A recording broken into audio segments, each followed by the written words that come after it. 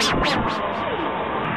い、ということでね、えー、つぼみやってみました。ていうかね、初めてね、あそこテンパフェしました、最初。どうこれ、これエクセ行ったなと思いましたね、この時点で。あ、これ最初行ったなと思ったんですけど、なんであそこでグレート出るかな。しかも、まとめて出ましたね。